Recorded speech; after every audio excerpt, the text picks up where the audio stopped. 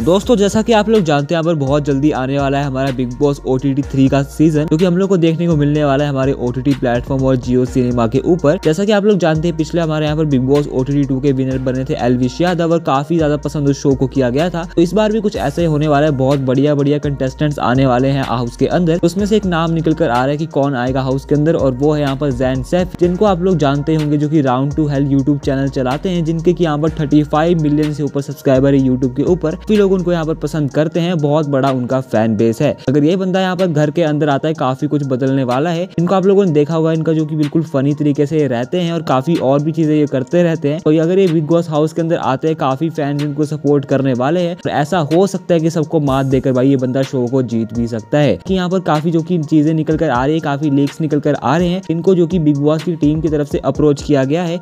यहाँ पर इनकी तरफ़ से कुछ हंड्रेड परसेंट नहीं आई है। जैसे जैसे यहाँ पर शो की रिलीज़ डेट नज़दीक आ रही है। हम लोग को बहुत जल्दी इनकी तरफ़ से भी यहाँ पर कंफर्मेशन मिल जाएगी। ये कंफर्म हो जाएगा कि कब हम लोग को देखने को मिलने वाले हैं शो के अंदर। आप लोगों को इस बारे में क्या लगता है मुझे कमेंट बॉक्स में जाकर ज़रूर से बता देना। ऐसी ही और इंटरेस्टिंग वीडियोस के लिए हमारे चैनल को सब्सक्राइब भी कर देना। तो आज के लिए सिर्फ़ इतना ही था। मिलते अगली और नहीं और ज़बरदस्त वीडियो के साथ।